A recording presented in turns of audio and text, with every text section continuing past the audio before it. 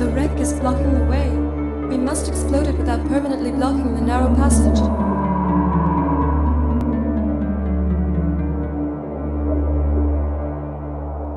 Sensory apparatus indicates presence of gold.